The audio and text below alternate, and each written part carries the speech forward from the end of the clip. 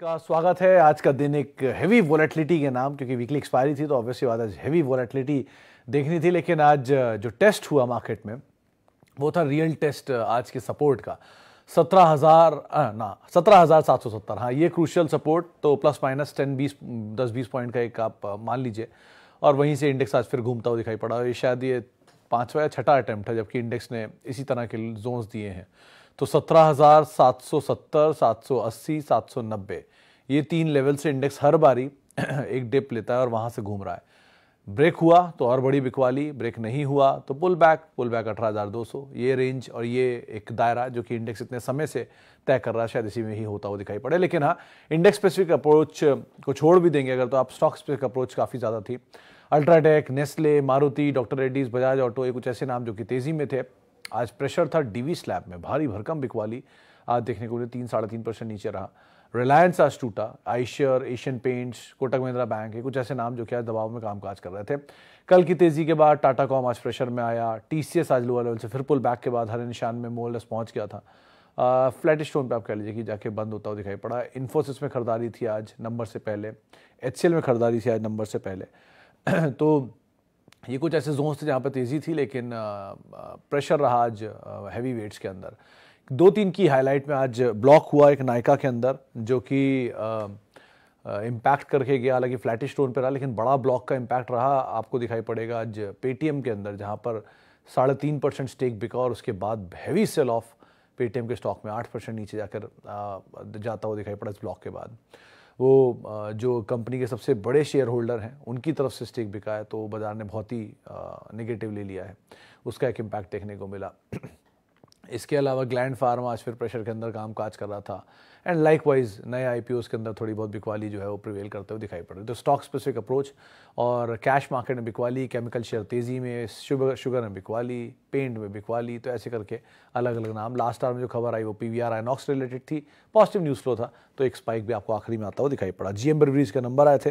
Numbers अच्छे थे, लेकिन मतलब ठीक ठाक कह सकते हैं, बहुत अच्छे नहीं फायरवर्क नहीं था, लेकिन हाँ ठीक ठाक नंबर साउंड पर आप एटलीस्ट काउंट करके चल सकते हैं। सवाल जवाब का सिलसिला आप शुरू करेंगे और बातचीत करेंगे कुछ सवालों को लेकर भी सबसे पहला सवाल हाँ जो मेरे पास आया है वो है आपने सर आपने सोनाटा सॉफ्टवेयर के बारे में कमेंट किया है बत्तीस रुपया ई पी एस डायल्यूट होकर सत्ताईस हुआ फिर पंद्रह का मल्टीपल मतलब पे लिया पाँच सौ अस्सी का प्राइस बताया तो ये कैसे हुआ? क्या फंडामेंटल समझने आ, सर ये कैसे हुआ? आ, सर मान लीजिए कोई कंपनी है जो पाँच सौ रुपये पर ट्रेड करती है से फॉर एग्ज़ाम्पल और उसका ईपीएस e कहीं आपको मिलता है पचास रुपया तो वो दस गुना ऊपर काम कर रही है। यानी पचास रुपये पर शेयर को कमा के देती है जिससे दस गुना ऊपर उसका शेयर काम कर रहा है जो पी टेक्निकल भाषा में माना जाता है। तो ईपीएस e हो गया पचास रुपया दस गुना ऊपर हो गया आ, ये शेयर तो पाँच सौ रुपया हो गया। अब मान लीजिए वो पाँच सौ रुपये का शेयर करेक्ट हो जाता है और आ जाता है तीन सौ रुपया। लेकिन उसकी ईपीएस साइमल्टेनियसली पचास रहती है या चालीस रह जाती है। तो अगर उसको बाज़ार वही दस का मल्टीपल जो उस समय दे रहा था तो उसका दाम टेक्निकली चार सौ रुपया होना चाहिए था, जो कि नहीं है। तो वो ओवर सोल्ड हो गया है।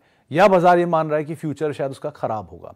तो अगर फ्यूचर खराब होगा तो थोड़ा डिस्काउंट कर लीजिए। डिस्काउंट कितना कर लेंगे? बीस परसेंट। तो आपकी चालीस रुपए की ईपीएस में बीस परसेंट और डिस्काउंट कर देते तो आ जाएगा वो कहीं और रफली बत्तीस रुपए, तैतीस रुपए की रेंज में। तो तीन सौ बीस, तीन सौ चालीस में मिलना चाहिए। लेकिन इतनी ओवर एग्जेजरेशन में वो तीन सौ आ गया तो तीन सौ बीस फेयर दाम उसका होना चाहिए। लेकिन फिर भी वो तीन सौ आ गया तो ये ओवर सोल्ड में आ चुका है, वापस पुल बैक आदमी तो कल ले लेगा। अगर कुछ उसमें टेक्निकल इश्यूज़ नहीं आए हैं, यानी कोई बड़ा ही स्ट्रक्चरल डैमेज है तो बात अलग है, जो अभी पता नहीं है हमें। लेकिन अगर ऐसा कुछ नहीं है तो ओवर सोल्ड है। कभी कभी वो बहुत ओवर बाय हो जाता है। जैसे आमतौर पर उसको 10 से तो इसका ये सबसे अच्छा तरीका ये होता है कि आप हिस्टोरिकल पी चेक कर लीजिए कि एक इतने सालों में कितने के पी पे घूम रहा है।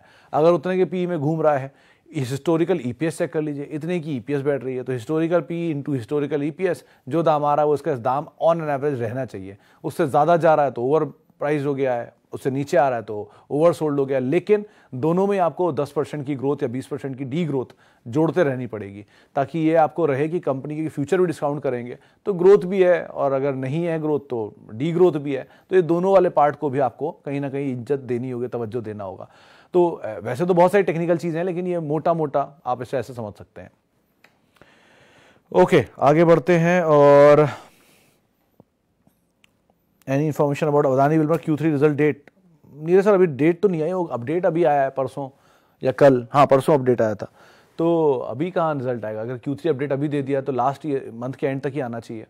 तो अभी तो नहीं है, लेकिन हाँ सिट बैक रिलैक्स जब भी आएँगे, अच्छे नंबर आएँगे या तो या नहीं आएँगे तो अच्छी कमेंट्री आएगी। सो आपको मौका दे नीचे की तरफ़ आप ऐड कर लीजिए। नहीं दे रहा तो आप आराम से बैठिए, कोई ऐसा इशू नहीं है। इसके अलावा H D F C life versus S B I life इसमें सर दोनों में एक एक केवियट है। प्रेम सर, अगर आप मतलब मेरा व्यू पूछेंगे तो मैं आई सी प्रोडेंशियल ज़्यादा बेटर मानता हूँ तीनों में। लेकिन इन दोनों आई सी से Lombard sorry I C Prudential हाँ नहीं, लोमबार्ड, लाइफ वाला जो है वो, Prudential is I C Prudential life insurance हाँ प्रोडेंशियल है, और insurance Lombard is general insurance अच्छा लेकिन इन दोनों में क्या केवियट क्या था? वो कि दोनों में एक ना एक सेलर बैठा है रेडी जैसे H D F C case में स्टैंडर्ड लाइफ और आई के लिए, के केस में कार्लाइल इन दोनों को अपने अपने स्टेक्स बेचने हैं। तो वो स्टेक्स ऑफलोड करेंगे तेज़ी में। तो कोई भी तेज़ी इसलिए इस्तेमाल होगी। H D F C life के केस में क्योंकि H D F C group का मर्जर हो रहा है H D F C bank H D F C limited का। तो जैसे जैसे विलय हो रहा है वैसे वैसे आपको नए कंसोलिडेशन बनते हुए दिखाई पड़ेंगे ग्रुप के अंदर कि कुछ जो नई एंटिटी होगी, उसको एच डी एफ़ सी में भी स्टेक लेना होगा H D F C life में भी लेना होगा एम में भी लेना होगा। सो अब ये ग्रुप अंडर कंसोलिडेशन है। पिछला पूरा साल उसमें निकल गया, इस साल में भी कुछ हिस्सा निकलेगा। लेकिन परफॉर्मेंस वाइज को अगर आप हटा दें तो ये largest player H D F C life है। Second largest player I life S B I life में सरकारी तवज्जो रहेगी तो कभी ना कभी ऊपर अगर सरकार अपना स्टेक बेच देती है, जो कार्लाइल से लेने के बाद ये बेच रही है अगर ये बेचने लग गई ओ एफ़ एस आने लग गया तो सरकारी खेमा बन जाएगा फिर से ये। और अगर H D F C case में ऐसा नहीं हो सकता तो इन सबके कुछ फ्लॉज ड्रॉबैक्स आपके सामने रख दिए आप लाइक वाइज देख लेगा वी एन बी मार्जिन जो सबसे क्रूशल मार्जिन होता है, उसके लिहाज से H D F C life ज़्यादा बेटर पॉइस्ट है। गुजरात गैस 510 पेट्रोनेट 240 की बाएँगे क्या किया जाए आगे? दोनों Jaiprakash sir momentum based stock हैं, चाहे गुजरात गैस हो या चाहे पेट्रोनेट एलएनजी हो। लार्जली अंडर परफॉर्मर है पेट्रोनेट एल तो। वैसे आईपीओ के बाद तो बहुत चलाई है जब 2004 में आईपीओ आया था उसके बाद से। लेकिन बेटर ये कि गुजरात गैस तो आप एटलीस्ट होल्ड करें पेट्रोनेट एल में आप थोड़ा ऊपर निकले तो आप बेच दें ज़्यादा बेटर है। Okay when can I add more shares of P D light Polycab P I what level Suraj sir, ऐसे लेवल तो मैं आपको नहीं बोल पाऊँगा, लेकिन आपकी कॉस्ट से रीजनेबल नीचे आ जाए तो आप एक छोटा चंक एस का इसमें डाल सकते हैं। अब वो रीजनेबल क्या है और एसआईपी का छोटा चंक क्या है, वो आप तय करेंगे, क्योंकि आपका दाम मुझे नहीं पता है। लेकिन मोटा मोटा अगर सौ रुपये का कोई शेयर आप उठाते हैं तो पच्चीस रुपया, बीस रुपया नीचे आने के बाद उसकी सिचुएशन ठीक होनी शुरू हो जाती है। पीडी लाइट जैसी कंपनी में बीस रुपया इज़ मोर देन इनफ यानी बीस percent is more than enough वहाँ एक छोटा चंक आप ले ले। छोटा चंक इसलिए बोल रहा हूँ कि आपको लगेगा छोटा क्यों, जब इतना ही टूट गया तो बड़ा ले लो, ऐसा कुछ नहीं है। सर, कुछ नहीं पता किसी को रेट कहाँ तक जा सकते हैं किसी भी चीज़ के। क्वालिटी कितनी एश्योर्ड है, ये ज़रूर देखी जा सकती है। तो गिरते दाम में आपको क्वालिटी को स्टिक करना है बढ़ते दाम में वैल्यूएशन को स्टिक करना है। सो so, इसकी वजह क्या है? गिरते दाम में आपको हमेशा घबराहट होती है कि मेरा शेयर ख़त्म ना हो जाए बर्बाद ना हो जाऊँ पैसे ना डूब जाए तो आपको क्वालिटी पे शोट करना है। बढ़ते दाम में आपको ये लगता है कि यार ये तो कंपनी अच्छी है चलती रहेगी। जब आप खबरें बहुत सुन रहे होते हो मीडिया में और हर तरफ़ अच्छी खबरें आ रही होती हैं। तो आपको लगता है कि ये तो बढ़ता ही रहेगा इसमें कहाँ कुछ जाएगा? ऐसा नहीं है। तब वो वैल्यूएशन देखता है। जैसे एशियन पेंट नब्बे का वैल्यूएशन या नब्बे या सौ का मल्टीपल था। आज सत्तावन पे आ ही गया ना आखिर। टूट टाट के कंपनी ख़राब नहीं है। मैं अभी भी कह रहा हूँ कि देश की सबसे बड़ी पेंट कंपनी है। पेंट के साथ साथ वो फोरे कर चुके हैं होम फर्निशिंग स्पेस के अंदर। सो so, कारोबार में इशू नहीं है उनके। लेकिन इशू वैल्यूएशन को लेकर भी आपको कभी कभी समझना पड़ेगा। एशियन पेंट भी बजाज बजाज फाइनेंस की तरह एक बड़ा आउट परफॉर्मर रहा है निफ्टी की बाकी कंपनियों के कंपैरिजन में, पिछले दो डिकेड में। तो अगर उस तरह की आउट परफॉर्मेंस को उसे राइट साइज़ करना है तो उसे पच्चीस छब्बीस परसेंट पे ग्रो करना पड़ेगा। जो ठीक ग्रोथ है तो पच्चीस छब्बीस परसेंट के लिए अभी वो छत्तीस है। घट के दस परसेंट नीचे आ जाएगा। तो अगर एक दो साल और अंडर परफॉर्म किया तो आ जाएगी पच्चीस छब्बीस परसेंट। तो कोई दिक्कत नहीं आप आराम से उसको ऐड कर सकते हैं। बट अगर आप में पेशेंस है तो। सो आपको दोनों चीज़ों का ध्यान रखना होगा। Tata motor 95 hundred share, Bajaj Finserv तो सर करने, ये टाटा मोटर 95 अगर पचानवे रुपये पे खरीदा आपने तो फिर आपको टेंशन लेने की ज़रूरत है? आराम से बैठिए। और रही बात बजाज फिंसर की तो थोड़ा नीचे आ सकता है, लेकिन वहाँ पर आप ऐड कर लिए ज़्यादा बेटर है। लेकिन मतलब क्वालिटी वाइज पाँच साल के लिए तो इन दोनों में इशू नहीं है। दो टाटा मोटर लॉस मेकिंग है, लेकिन कुछ बात तो है, ऐसा नहीं है ना कि जैगवार चला रहे हैं और इतना बड़ा सीवी स्पेस के लार्जेस्ट प्लेयर और लॉस मेकिंग है। कुछ टाइम में ठीक हो जाएँगे लॉसेज इनके होते रहते हैं। बट बेटर साइड ये है कि आप टाटा uh, मोटर आपके दाम के आसपास कभी दोबारा मिल जाए तो आप और एड कर लीजिएगा। बजाज फिनसर्व आप थोड़ा थोड़ा ऐड कर सकते हैं बट टाइम ज़्यादा लेगा बजाज फिनसर्व इससे बेटर आप बजाज ऑटो में जा सकते हैं अगर आप डिविडेंड लेना चाह रहे हैं लेकिन वो ज़्यादा ओवर ऑटो एक्सपोज हो जाएगा इस लिहाज से आप कॉल लीजिएगा। तो विकल्प ज़्यादा अच्छा वो है लेकिन आप क्योंकि ओवर एक्सपोज ना हो ऑटो में इसलिए एक बार को बजाज फिंसर को देख सकते हैं। Dronacharya SME share view. अरे सौरभ जी, ये तो बहुत बहुचर्चित शेयर है। इसके बारे में क्या ही बोलूँ मैं आपको? ये ध्यान रखिएगा कि ये जितनी तेज चल रहा है ना, उतनी तेज चलना चाहिए नहीं था। और अगर इस तरह की चाल मिल रही है आपको और आपको पैसा बन रहा है तो आज नहीं तो कल, नहीं तो परसों निकल जाइए। क्योंकि ये रफ्तार कभी ना कभी थमेगी ज़रूर, और थमेगी तो बहुत मुश्किल से आपको फंसा सकती है। जैसे कि आप पहले ईज माई ट्रिप में देख चुके हैं, जैसे कि आप पारस डिफेंस में देख चुके हैं। ऐसा नहीं है कि कंपनी ख़राब है वो तो बात की बात है। हाल की लिस्टिंग 14 सेशन में 400 परसेंट रिटर्न दे के चली जाए, ऐसी कंपनी का शेयर कहीं तो थमेगा और वो बहुत बुरी तरह पैसा फंसाएगा लोगों का। एसएमई है, इसलिए ज़्यादा पता नहीं चल रहा है। इसीलिए बोल रहा हूँ कि आपको कोई पैसा बन रहा है, मुनाफा मिल रहा है, निकल जाइए और कहीं और पैसा डाल दीजिए। बहुत अपॉर्चुनिटी और मिलेंगी, लेकिन ये रिस्की बेट्स को ज़रा ध्यान संभल के ट्रेड कीजिएगा। बाकी आपका एपेटाइट आपको अलाउ करता है तो आप खुद ही कॉल ले सकते हैं उसके लिए। मदरसन के Infosys buy back over and why Reliance that six month low Anil ji Reliance के केस में six month low seven month low hardly matters मतलब ग्यारह परसेंट का ग्रोथ इसने दिखाया है शायद। मतलब मेरे ख्याल से शायद पिछले पंद्रह एक साल में Reliance is the only company जो हर निशान में हर साल बंद हुई है, हर कैलेंडर ईयर में। मतलब वो नंबर मैं दोबारा क्रॉस चेक करूँगा, लेकिन मुझे किसी ने भेजा तो मैंने पढ़ा था ये नंबर इसलिए मुझे वो याद आ रहा है। लेकिन मतलब रिलायंस के बारे में मैं क्या ही बोलूँ? इसलिए नहीं कि सी एन बी सी आवाज़ इज़ ओन्ड बाय रिलायंस उसको तो अगर मैं साइड में भी रख दूँ डिस्क्लेमर के साथ, लेकिन अदरवाइज़ भी largest petrochem player largest retail largest telecom largest toy company largest refineries debt भी बड़ा है but they have cash net cash भी बहुत है. Largest profit making largest market cap मतलब और क्या ही बोलूँ?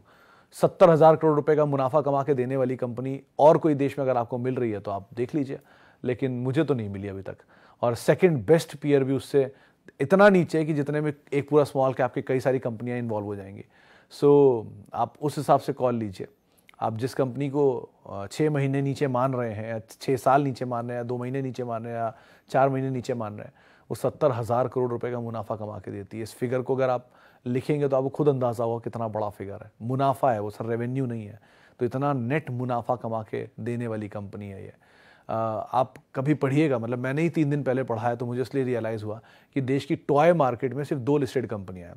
एक एमआरएफ और एक रिलायंस और दे अर्बन मार्केट में तीस करोड़ बच्चे हैं, जिसमें तीस करोड़ बच्चे मतलब एक देश की एक तिहाई हिस्सा बच्चे की है।